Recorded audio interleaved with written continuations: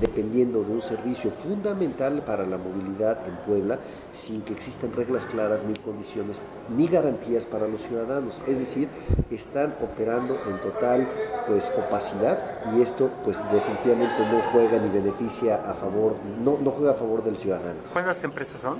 Son tres empresas las que actualmente brindan este servicio sin que, y esto es lo preocupante, sin que obre de por medio ningún contrato, convenio o título de concesión, Samuel.